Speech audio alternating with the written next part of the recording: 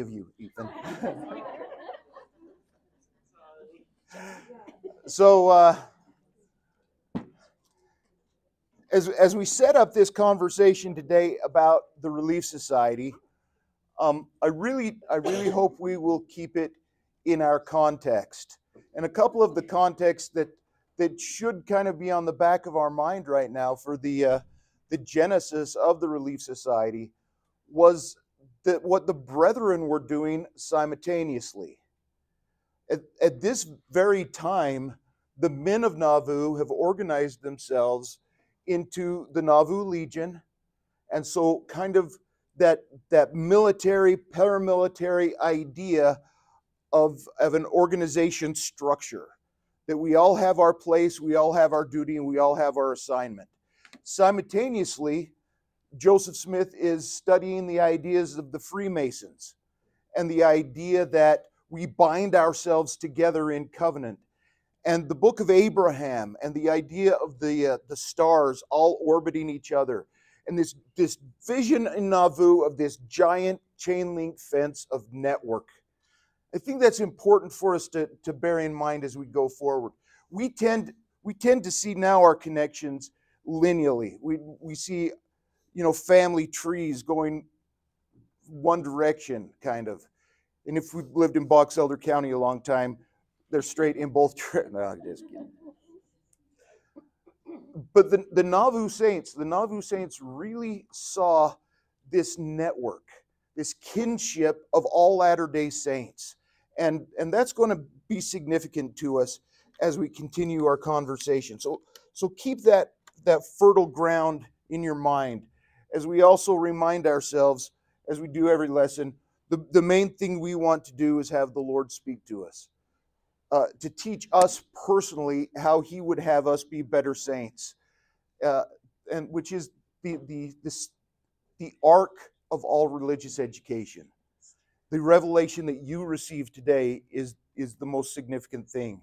And please remember, please remember with anything we talk about church history, especially Nauvoo, if you ever have to try to explain this to somebody who cannot understand the very, very complicated nature of the chain link fence, and they think you're an idiot for believing in, in such a thing, please be in good company with Paul, who says the message of the cross is foolishness to those who are perishing. I'm okay if you don't understand an empty tomb. I do, leave me alone. And the Lord has laid in Zion a stumbling block and a rock of offense. You remember the Greek word for offense? Scandalon. Today's, today's scandal m- may be actually a little topical. Carol Lee shared with me this morning a message from the, uh, uh, the counselor in the General Relief Society who had who had said a nice thing about uh, the opportunities women have in the Church of Jesus Christ. And then a billion posts came up about, nah, not in my ward. Well, let's talk, let's just embrace the scandalon.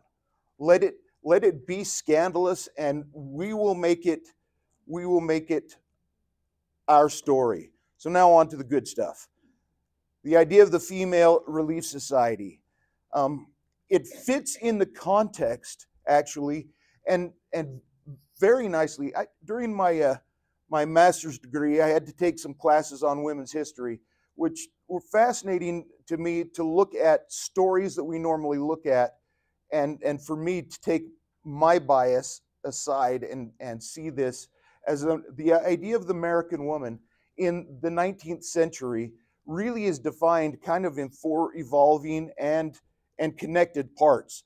The first idea of the American woman, the, the uh, white American woman, this story wasn't the same if you happen to be enslaved or, or native, but um, the first idea of, of the American woman, if, if we lived in the 1800s, the historians call this the deputy husband. It is, it is the name for someone who is equally engaged in making sure that we don't die.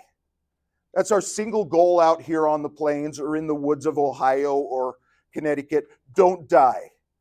So so the role of the woman was was equal to the role of the man in not dying, which meant that sometimes she had to shoot the squirrels and sometimes he had to cook them up and sometimes they both had to, uh, you know, gather buffalo chips for wood.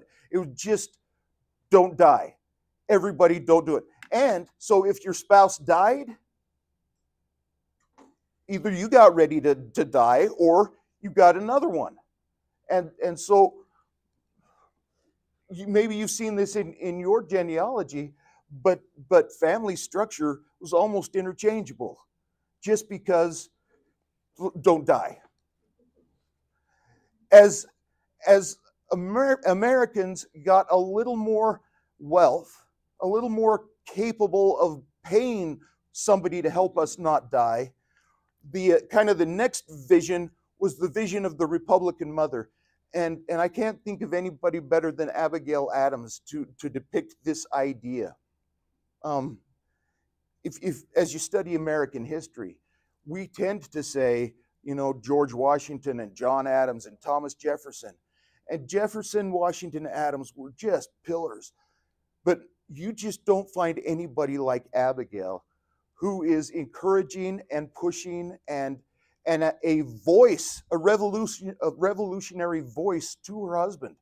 And the great, uh, the great honor to this Republican mother is not that she was married to John Adams, but that she begat John Quincy Adams, who who is one of the greatest Americans. Read the John Quincy Adams biography someday. He, he had a horrible four years as president because Andrew Jackson is a jerk. But he, he as his term as a diplomat, his Secretary of State, after he loses in uh, his loses his reelection bid, and uh, he, he runs for Congress runs for Congress and wins from Massachusetts and becomes probably the greatest voice of abolition in American history. So much so that uh, that the House of Representatives passed an, a law or a, an order called the gag rule that he couldn't speak about slavery. And, and so he just kept trying to find back doors and channels. Guess where he died? On the floor of the House he, he had an aneurysm, and they brought in a couch and left him there till he passed because the nation just owed John Quincy Adams and thus the Republican mother. You get that idea, right? You see that uh, the, the woman's role did tend to become more specifically feminine, but seen deliberately significant to the next generation. The hand that rocks the cradle rules the world. That still kind of exists with us to some extent. And then that evolved into the cult of true womanhood and the circles of domesticity. Catherine Beecher, who is the, the uh, sister of, of Harriet Beecher, Uncle Tom's Cabin, and, and daughter of Lyman Beecher, and all the famous New England Beechers. But while her sister is fighting for abolition, um, Catherine fights for education. And just this idea that if we can have a, a more elected or educated populace, we will have more power. And who she wants to educate are the girls and the women. And then she wants girls and women to become teachers. As, as this becomes what you, what you might say a, a feminine type work that, that women should do more of, said Catherine Beecher as she promoted this, this cult of true womanhood and the circle of domesticity.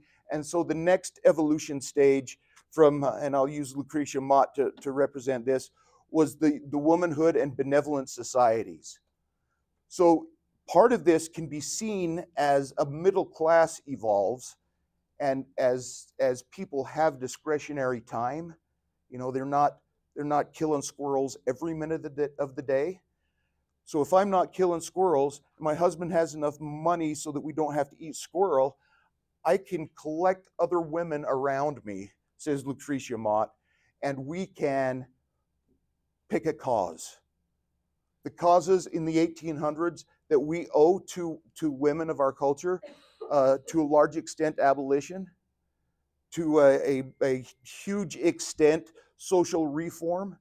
You know, the, the benevolent societies would go into into New York and Philadelphia and Boston and try to rescue the uh, you know the children of the street and and the uh, the soiled doves and close the saloons. And all this became kind of the the woman's sphere eventually pushing to uh, to suffrage right? Now as i explained all of those things as nature uh, as our history has evolved i promise you you can see these in our grandmothers every one of those stages. And what we notice is, is with the exception of the deputy husband, which was just that that just was it was what it was for everybody. But it absolutely is tip, is typified by our grandmothers because we are a culture. We our our history is a history of frontier life.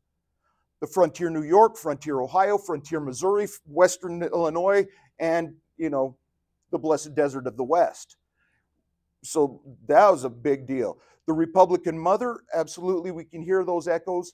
Uh, the uh, circle of domesticity and the and the benevolent societies were probably probably 20 to 50 years ahead of the rest of the nation. Just like just like suffrage, right? Um, Utah uh, Utah women were voting before anybody else in the union. Wyoming, Wyoming gave women the vote first, But we had a vote. but we had an election before. So, right? Thank you, Wyoming. We win. They passed the law first. Um, yep. So that that is how our grandmothers, our uh, these sisters, came up with. Every time I think it's a revelation, and then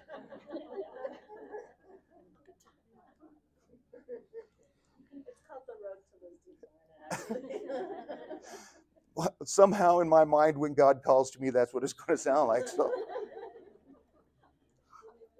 as these sisters get together with this idea of creating a benevolent society, a group of women who are going to band together in order to help the poor, the afflicted, the, uh, the, the abandoned children, the soiled doves, all these things they want to make a better society with. And they vote. They vote for Emma Smith. She, she wasn't called by prophecy in the laying on of hands. She was voted in by, uh, by unanimous consent of the sisters who wanted her to be their leader. This is a, this is a cool picture of Emma Smith. And, and the photograph that is most closely to this moment in 1842 this is a picture of her in 1844, um, in November 44, with her son David, with whom she was four months pregnant at the time of the martyrdom. This is this is the past uh, post martyrdom Emma Smith, and you see. Do you, do you ever study just old photos and try to understand a person by looking at them? And I can feel the weariness. I feel her distress, and and bless her. Well, you know, that picture, some people think that she actually had had a stroke. That's that's uh, got that uh, look in her eye, isn't it? And that shows up even in, as she ages. That's that's true. Um, then Emma is given the responsibility, or or then then the rest of the uh, the meeting proceeds by parliamentary order, and it's quite interesting because then the uh, they make a motion. It's proposed that Elder Taylor vacate the chair. President Emma Smith and her counselors took. The, it was proposed that Emma Taylor vacate the chair.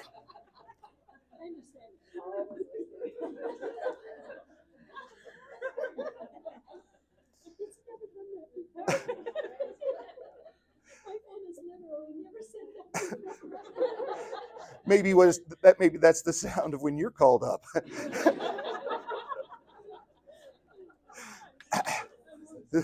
Some of us get an Irish tune, others get a robot. I see a principle in this. So, John Taylor, John Taylor of the Quorum of the Twelve Apostles, John Taylor is conducting this meeting, and it is proposed by the sisters that Elder Taylor vacate the chair. Then, President Emma Smith and her counselors took the chair. Here is a, here is a hypothesis that I present to you as, as one who has sat in presiding authority. Sisters, You don't need my permission to get revelation. I say these things that I think sometimes sometimes men of our church think we have to point to somebody so she can be in charge.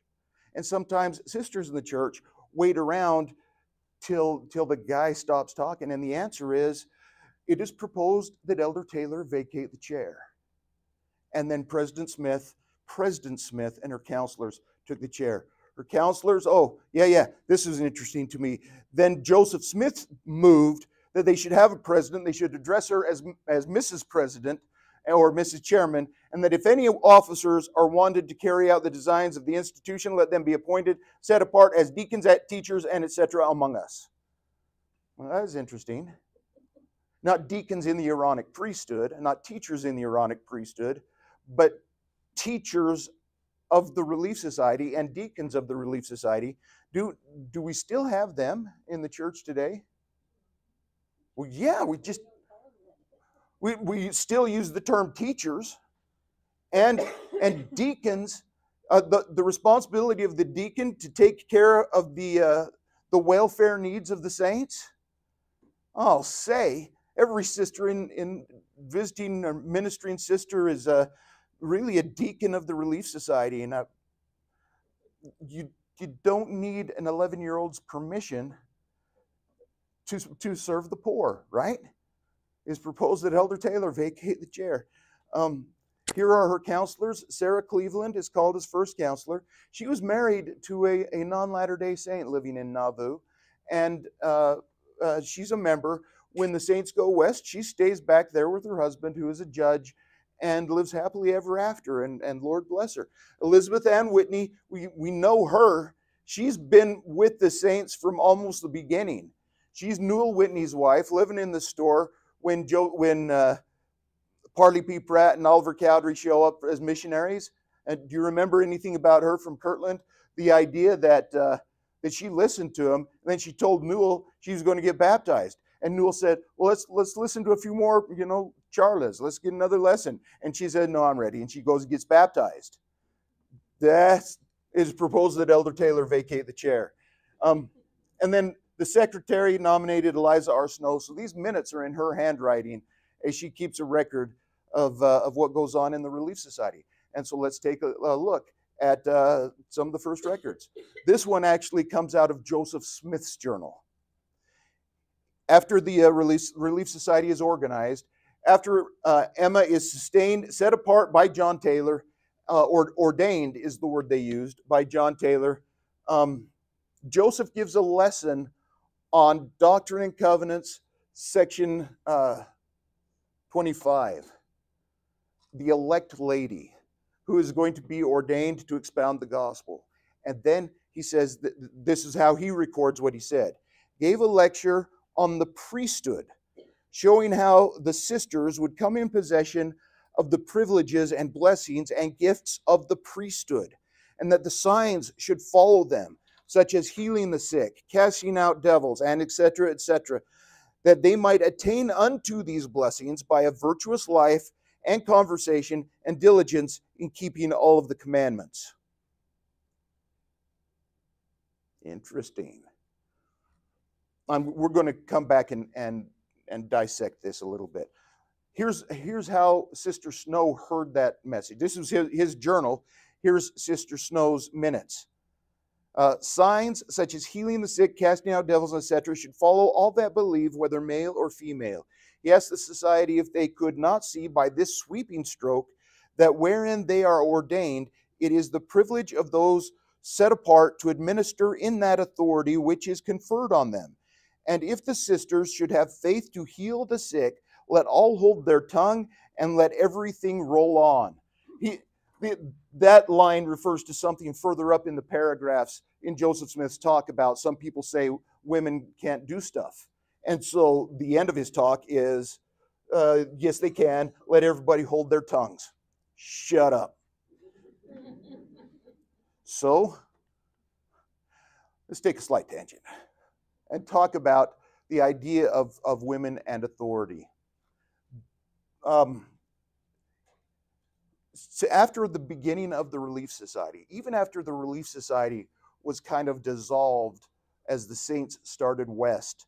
When we got to winter quarters and you know, we're just living in cabins and trying to survive, the sisters the sisters of Zion created the original ministering network. They visited the homes, they delivered the babies, they, they cared for the sick and afflicted. Every one of these eight sisters, and most of them you've heard their name, maybe all of them, but every one of these eight sisters gave blessings for the healing of the, the sick and the afflicted. And uh, I'm not going to time travel and tell Mary Ann Angell Young that she's out of line. She looks like she could handle her own, but I'm scared to death of her husband. Eliza Partridge is a daughter of the bishop. Uh, Sister Pratt, Mary Fielding, widow of Hyrum. Sister Richards, uh, uh, a, a wife of an apostle. Sister Kimball, Sister Whitney, Patty Sessions, who probably delivered one of your ancestors. She was a midwife who just, you know, delivered every baby. So what have what can we learn? Let's go back to to uh, to Joseph Smith's quote. Um, is there anything that you see in there that intrigues you or that explains a better philosophy of women and authority that maybe we we miss sometimes just with with traditional colloquial Mormonism? That was a long question, but do you see anything that's interesting?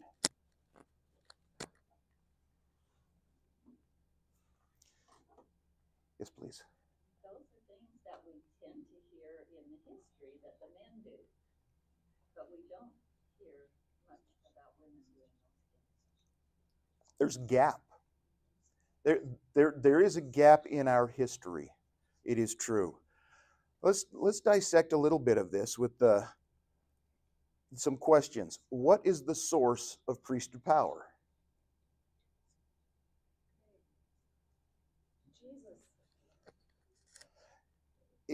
It's not it's it's not the handkerchief. It's not the seer stone. It's not the shadow of Peter. It's not Peter, right? It is it is God the eternal Father and his son Jesus Christ. I've thought about this quite a bit, and I, I guess the question comes to my mind, and maybe that's totally not even supposed to be there. If if they were doing these things or able to do these things, and I assume that any of us could, any of us women could do that, if there was not a priesthood person available, a priesthood holder available, how how did they do that? Did they call upon the priesthood of the, of the Savior? Yes. Yes. I, and uh, I've got some more as we unpack this that maybe we can answer some questions. The Louis Seven devotional on Sunday evening, one of the talks was about this, and it talked about the authority and the authority that God we have in our callings and, and in, in our lives. It's beautiful. I, I need to revisit it, but You know, if you're an ordinance worker in the temple, a woman receives the authority to perform ordinances. Ah, nobody forget that. We're going to say we're com- coming back to that. President Nelson gave a talk in a women's conference. It said, sisters, you have the power to liberally draw, or you have the authority to liberally draw on the power of God to bless those you love and your family. And and essentially said you have under your. What are the prerequisites of having the power of God in, in our lives? According to, if you were to just quote Joseph Smith, what's the prerequisite? Virtuous life and conversation and diligence in keeping all the See, that's section 121 that no power or authority can or ought to be uh, uh, exercised by virtue of the priesthood only upon the principles of righteousness, right? It tells us that it's gentleness, meekness, persuasion, long suffering, love unfeigned, virtuous life, conversation, diligence in keeping all the commandments. that, that those things are the prerequisites of God's power flowing through us, right? God's power flows through us according whether for, for men and women, for anybody, according to virtuous life and conversation and diligence in keeping the commandments. We all know that. Let's look at Eliza R. Snow with the same question. She's uh, talking about uh, after President Smith reads from Matthew, or excuse me, Mark, about the signs that will follow them that believe. And then it's point, pointed out that this healing the sick, casting out the devils will follow all that believe. It is faith, it's belief. It is belief that opens the door of godly power, godly blessings in our lives. Then he said, then she, re, uh, Sister Snow records that he said, with this sweeping stroke that wherein they are ordained and set apart, it is their privilege to administer in that authority, right? I, everybody ought to understand this. Since 1842, says Joseph Smith, everybody ought to understand this. This makes me feel better because at one time when I was in the my husband was in the he was having some really emotional problems. His mother, a really worthy lady, and me kind of gave him a blessing because nobody else was around, and we just, and I've always thought, should we have done that? But this is great. I, I'm, I, did it get better? Okay.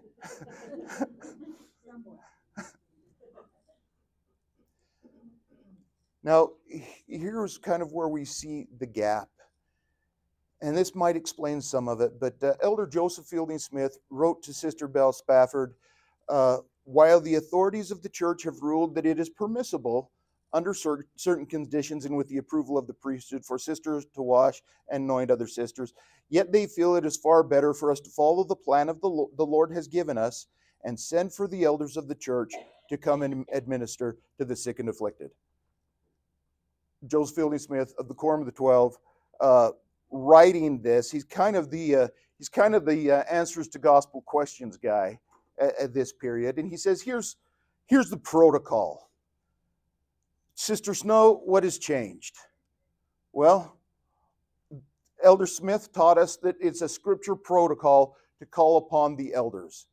It is, it is an elder's duty to be there to administer to the sick. It says it in James. So let's let's let the elders do that. The idea of washing and anointing for health stopped in 1922 that was a that was a thing. People went to the temple, went to the endowment house to be baptized for health, to be washed and anointed for health. Um, not not a proxy for somebody later on. It's just so that I can get feeling better. We've we've evolved as a church a little bit, and we've said, I I don't think that's what that was for. I don't think that's what baptism was for. And so we've not baptized for health in any of our lifetime. You know, we, I don't know any of us who have a memory of, of I had pneumonia and they took me out into the creek and baptized me and, and then I got better. We, we, we just don't do that, including all the temple workers whose calling was to be healers in the temple. They were released. We, we, we, we will do ordinances, not healings in the temple. This That- changed. That would replace, I mean, having the priesthood blessing, so why bother, right? Right.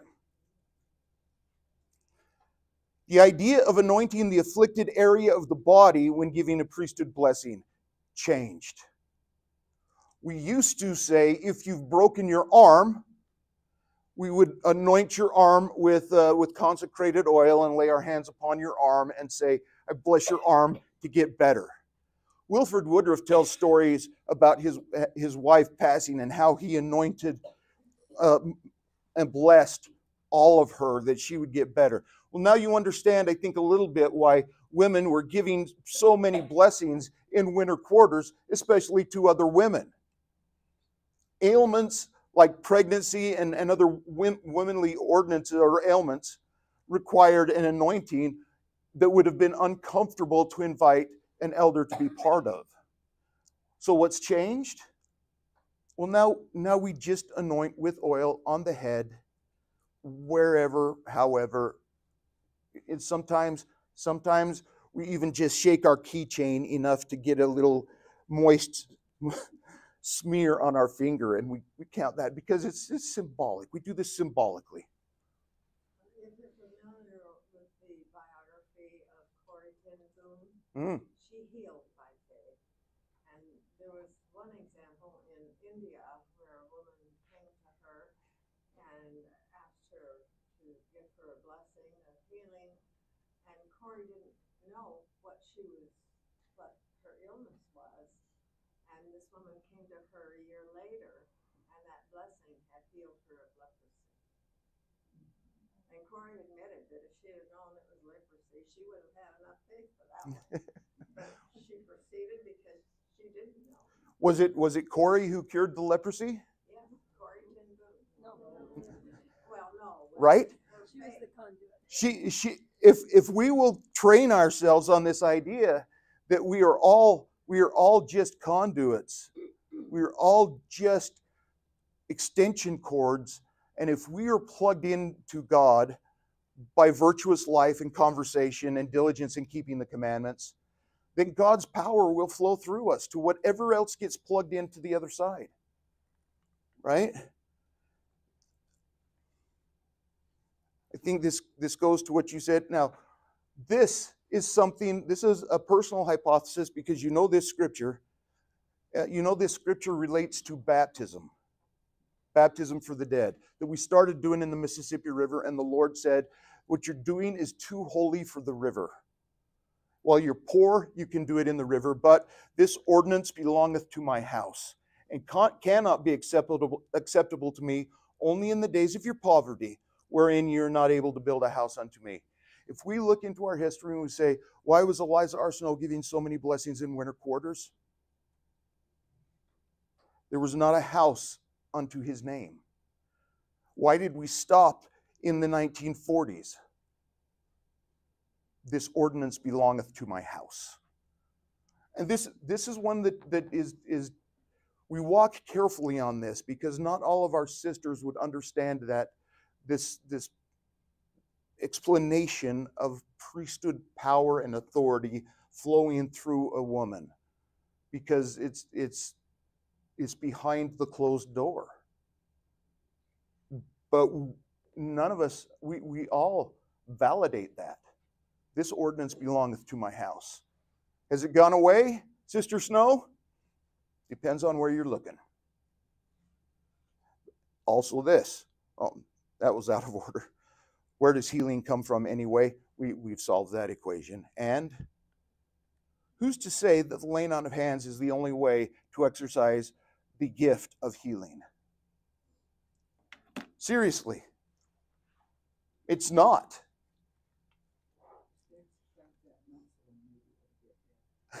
Well, I believe that, that women, through power of faith, I believe that women, even not knowing that they were conduits of God's power, I believe that women have been healing the sick in our culture for 200 years.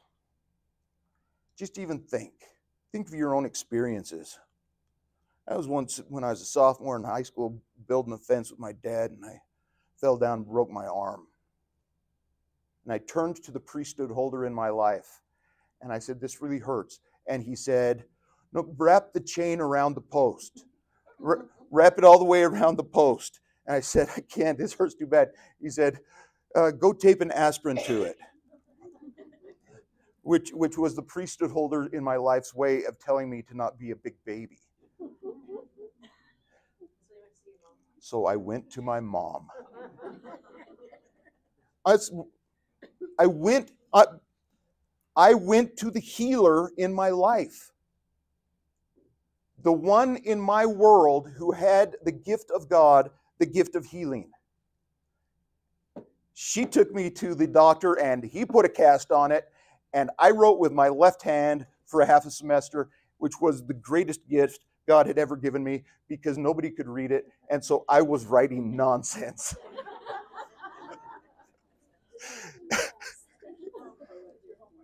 My mom did help write some papers. You know, it's it's comical, but let me kiss it and make it well. My mother.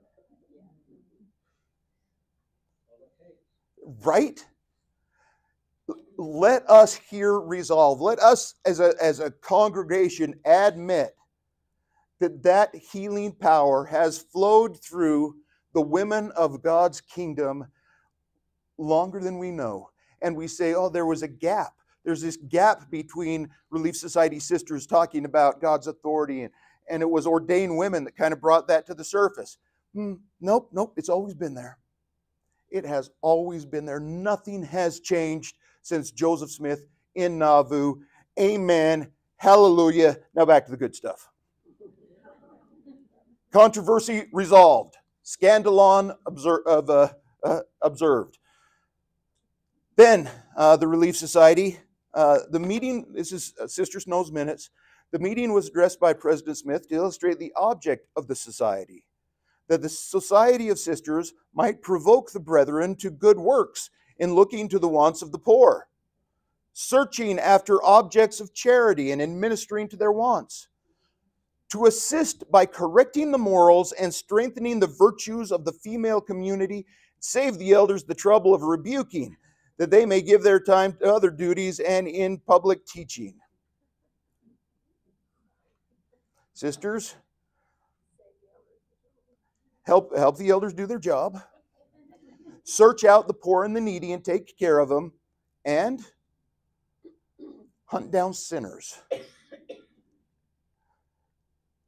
It was this commission that really kind of turned the nauvoo relief society into into a network of spies.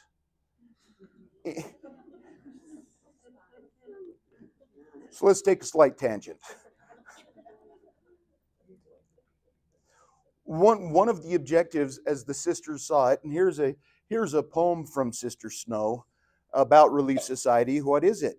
It is an institution formed to bless the poor the widow and the fatherless to clothe the naked and the hungry feed and in the holy paths of virtue lead and to stamp a vetoing impress on each move that virtue's present uh, di- di- dictates disprove to put the tattler's coinage scandal down and make corruption feel its withering frown. Well done, sisters. And as they began to examine the society of Nauvoo and the chastity of Nauvoo, uh, a stink begins to arise.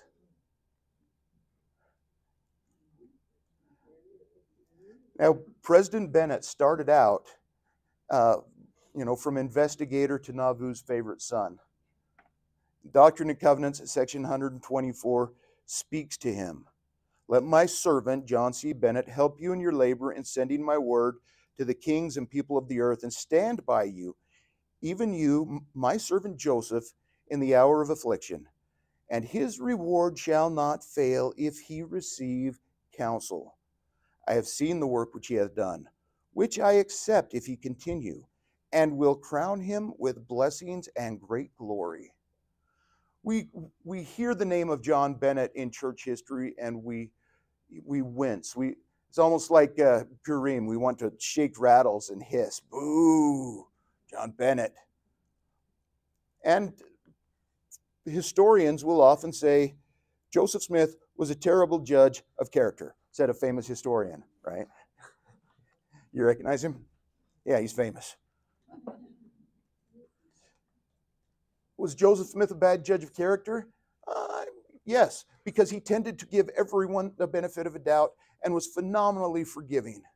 Phenomenally forgiving. But is John Bennett an example of Joseph Smith uh, being a terrible judge of character? Tell me about John C. Bennett from 124, from section 124. Who's the bad judge of character? Do because what, what is Jesus saying to this man with a shady past? He has potential. That, that's the judge on character. That's the judge on character that Jesus Christ made on John C. Bennett. He lived a horrible, in what by a lot of standards, a very wayward life. And the Lord says, I accept you. That that verse ought these two verses out of 124 ought to just be part of our national anthem. Because that's true for John C. Bennett, that's true for, for Uncle Leroy, it's true for a wayward child, it's true for me. There are a couple of things that, that we do notice in here that should teach us a little doctrinal message about conditional prophecy, though, right? A, a two letter flyover word. If. If. I, I sometimes listen as we teach ourselves and we teach in our lessons that, that everything unfurls according to God's plan, and because He knows the end from the beginning, everything happens exactly the way it's supposed to happen. And I disagree. I believe God knows all things, but I believe that the future in all things is absolutely conditional. In kind of a Marvel Universe timeline, would, would, would it have been possible for John C. Bennett to have been the greatest hero of the restoration and have and be right now wearing an eternal crown of blessings? Could he have been exalted? Yeah, that that's that's a possible timeline. Jesus was not messing with Joseph Smith and John Bennett by giving them a prophecy that couldn't be fulfilled. Yeah, he's going to be great. Take him in. No, he really did have potential. Our patriarchal blessings that say, here is something that's, that is your potential. If, if. The morning of the first resurrection. If. That that's uh, ought to be a sacred doctrine to us. Yes. Well, the good things he did, he did well. I mean, it looked like he had wonderful potential. Right. I don't know, don't, don't we all? Um, he, you're going to labor to send my word to kings and people of the earth. He he helped to the servant Joseph with the Nauvoo charter. He, he was doing well. The Lord wasn't messing with him. He was doing well. And then then we find out about his ad- adultery. Uh, Hyrum Smith and the High Council are investigating. The Relief Society are, are investigating and uh, three women testified that Bennett and Elder William Smith had taught them that spiritual wifery was approved by Joseph Smith. The, uh, the idea of, uh, of having multiple sex partners because our spirits are bound and our, the, you know, the heavenly is more important than the earthly. Doesn't matter if you were baptized by a Catholic priest, that doesn't count in the restored gospel. So it doesn't ma- marry, matter if you are married by a Baptist priest because that it's, it's the spirit that counts. Now, oh, how we want to throw rocks at John C. Bennett, but what do the sisters testify? Who else is in on, in on this? Elder William Smith of the Quorum of the Twelve Apostles. That is right. I would tell I would tell you one thing to make sure that we continue to think about spiritual wifery. I'll tell I'll tell it to you in a minute. Um, at this moment, uh, Bennett confessed his sins, resigns as mayor, weeps, and begs for forgiveness. And so uh, the the High Council and the Relief Society continue their investigation that he has taken advantage of close contact with female patients in Nauvoo as, as a doctor, he has been taking advantage of people. He made promises to perform abortions to keep his trysts secret. And, and uh, several people came forth later that Bennett was both prescribing a medicine um, to prevent or abort pregnancy and also had showed somebody at one point a medical implement with a hook on that he was using to uh, destroy the fetus, as it, as it said. Um, he tried to poison a husband of the husband of a woman that with whom he wanted to pursue a relationship, and that he he frequented and in fact was establishing a brothel in Nauvoo. I've uh, every time I go there, I talk to the uh, the missionaries and ask them when they're going to reconstruct the brothel, so I bet they love you. so we can go to the store, get a cookie, get a brick, get a horseshoe.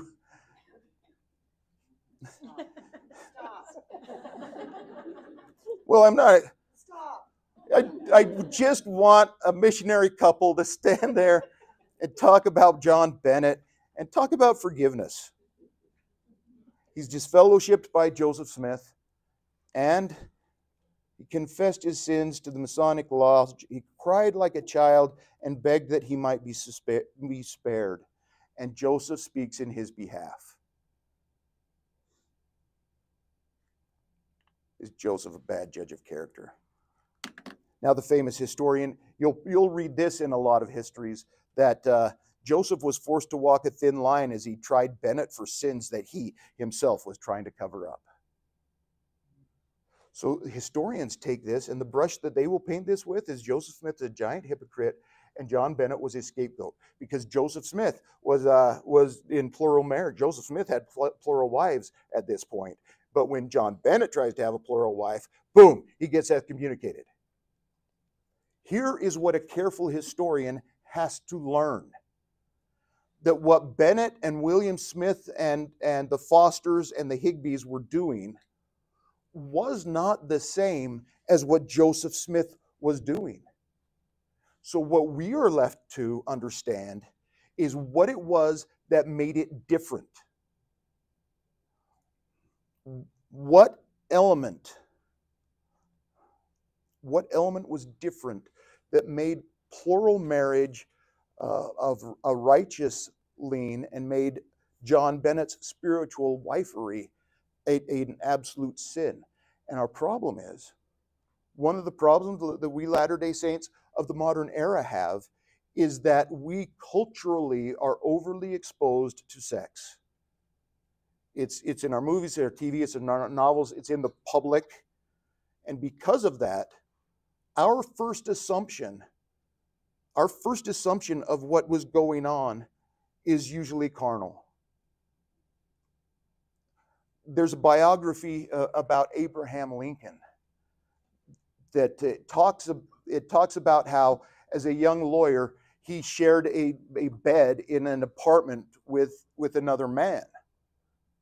And, and then it talks about how there have been accusations or implications that Lincoln was homosexual.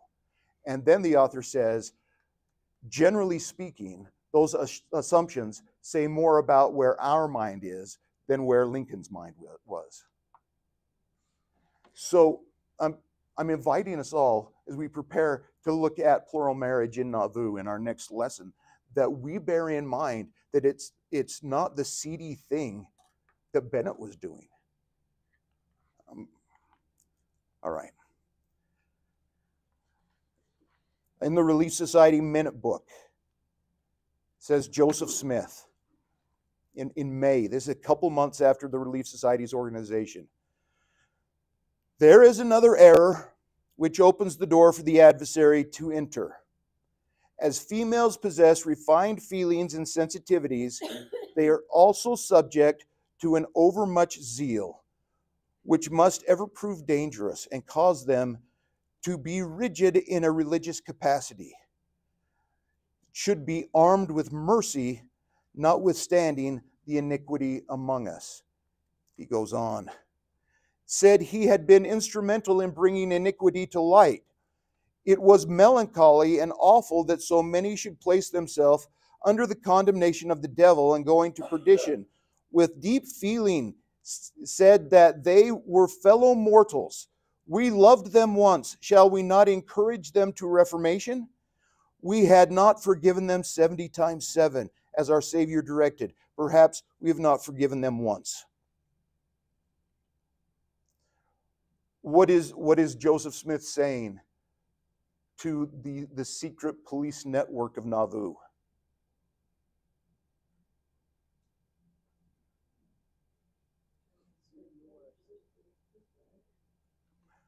We we have we have too many critics don't we? We have created sometimes in our faith so many critics that we are all a little punchy of taking correction. We just we just feel that uh, if we miss miss a basket we're going to be benched. If we write a bad paper we're we're not going to get an a. We have too many critics says joseph smith to put words in his mouth and what we need are some more cheerleaders. We know Brother Bennett's been horrible. He brought iniquity to light. And how should we feel about that? Melancholy. I'm not. Oh.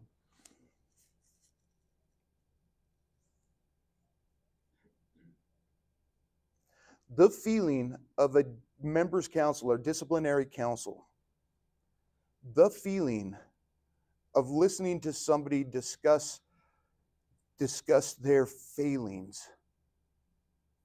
The feeling that comes from the spirit is melancholy not disgust not revulsion and not not an anger to to react and punish.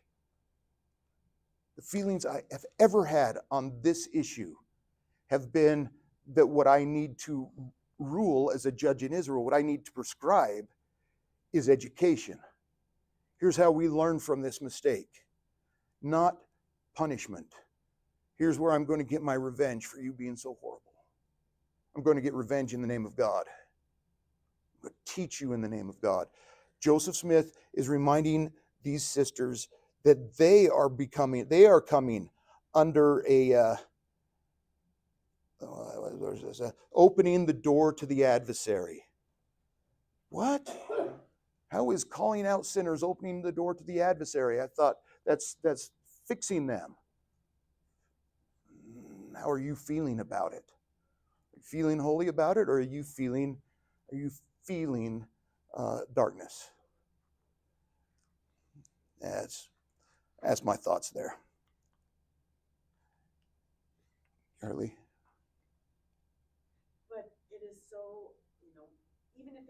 Been done to that person, I think there's a feeling that we have to somehow get over of being betrayed.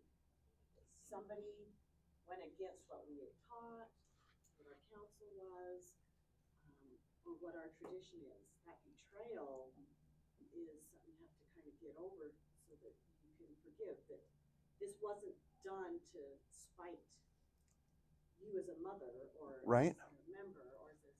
Sometimes even our feelings about God are that that's how he must feel toward our sin. And it, that comes from kind of a sovereignty doctrine, kind of the idea that that a king must punish uh, those who've gone, gone astray, or else it will lessen his authority over the group. And then I, we ponder on that and we say, what effect do my sins have on God's glory? None. What effect do, does my good work have on God's glory? Also, still none.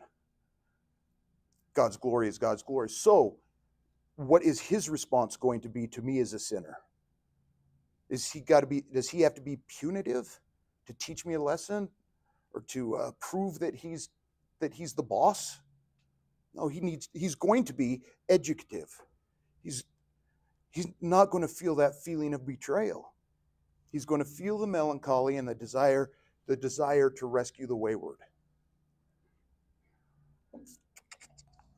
Uh, in my head, I've been wrestling on this one. I just don't take it as authoritative, but uh, sometimes the hardest thing as a bishop I had was not helping the penitent person uh, come back into, into good graces the, the, with youth. It was it was convincing their mother that they could still be a good boy.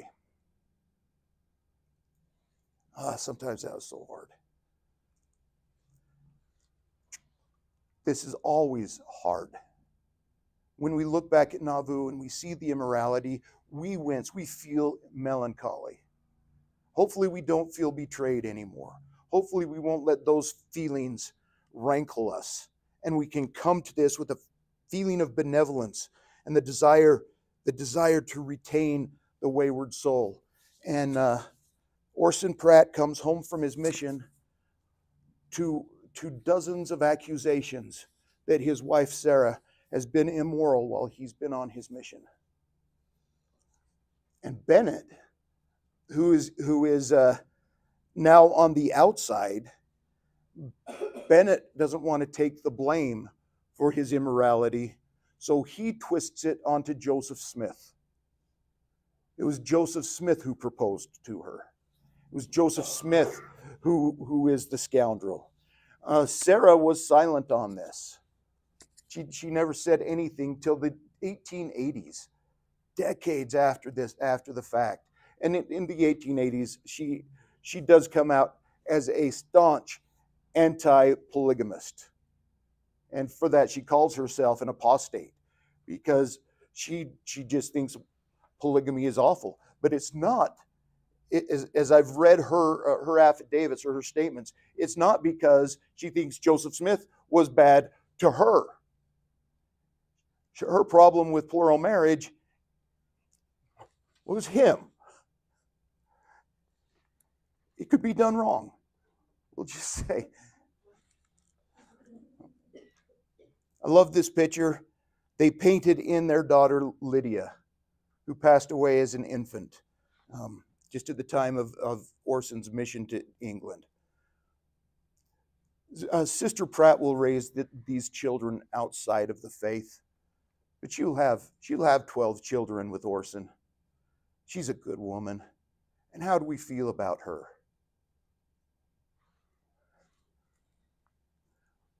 We want her to come back. We want her to be part. We want the blessings that were pronounced upon her in the Nauvoo temple of, of eternity, of, of, of immortality and eternal life. We want those blessings to come true.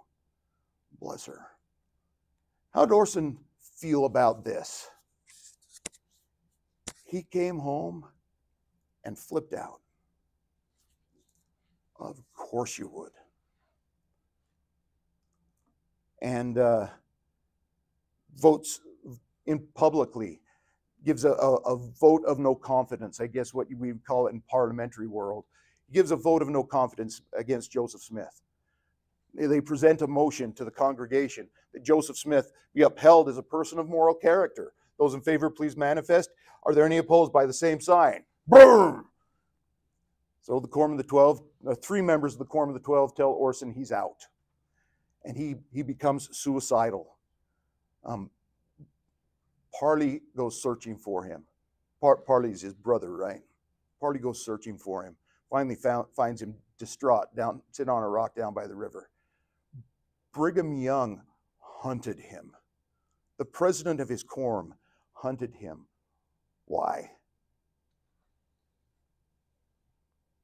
Brigham Young and Orson would fight till, till 1877 to President Young's last breath.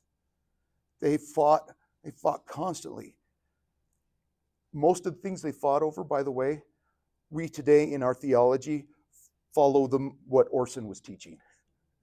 Mostly we say, yeah, Orson was right. But Brigham said, I will rub his ears until he gets this right. But he also said, he also said, if you slice Elder Pratt up into one inch squares, which he maybe was thinking about doing. He said, if you slice Elder Pratt up into one inch squares, every one of those squares would shout, Mormonism is true. Because President Young went and found Orson, and Parley, Elder Pratt found Orson, and they bring him back. And then Joseph Smith says, Oh, no, you were never excommunicated. He said, No, I was excommunicated by three members of the Quorum of the Twelve. And Joseph says, Three of 12 is not a quorum. That doesn't count. Vetoed. Vetoed excommunication.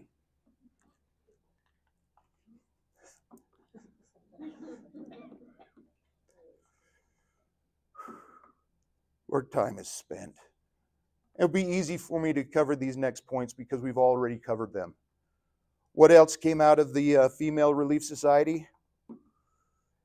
What we've been calling the key of knowledge this idea of, of not only a divine feminine, but at this point in Mormon history, was Joseph Smith teaching? Not just, not just that we have an exalted father, but that we can become like our exalted Father. And I gave you this quote by Zina Huntington early.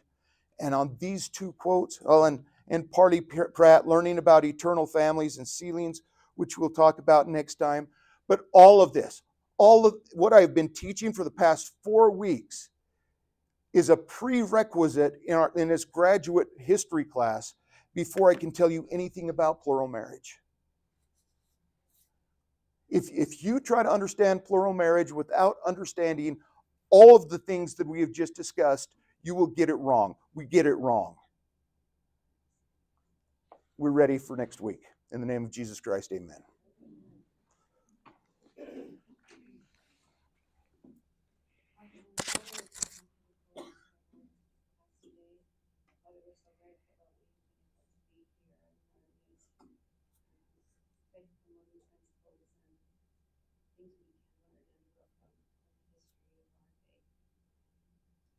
Father, we ask that we can take this knowledge and precepts home with us and know how we can use these to live better, be better saints, better servants of thee. Bless us that we will have thy spirit with us this week and again as we study our scriptures and as we um, perform our callings, whatever they may be, that you'll have thy spirit to be with us and we will be safe wherever our travels may take us next week. And we pray for these things in the name of Jesus Christ. Amen. Amen. Thank you. Thank you. Thanks, everybody.